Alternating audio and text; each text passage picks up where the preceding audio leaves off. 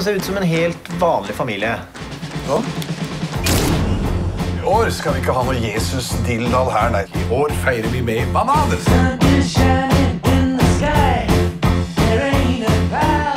Har du kanskje et lite vannkort? Ja.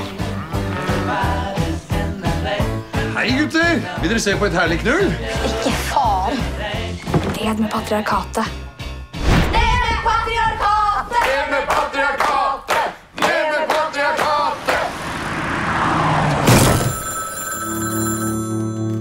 Hallo?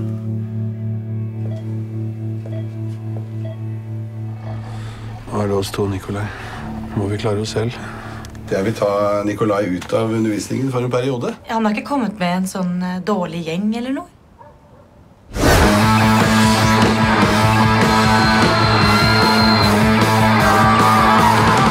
som spiller så høyt og så dårlig at de som hører på, skal tro at det er Satan!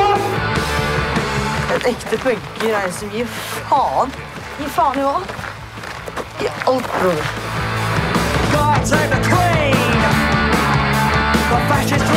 Punker handler for faen ikke om hvor gammel du er eller hva du har på deg. Og punker det handler om tørre å være dritt.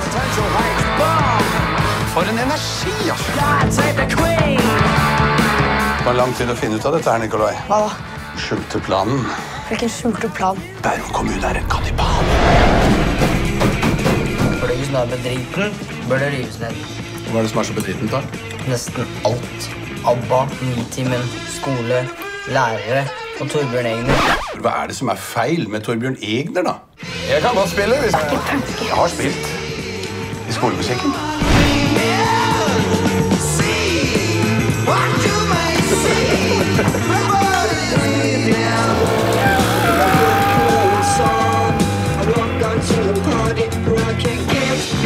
His fucking bollocks.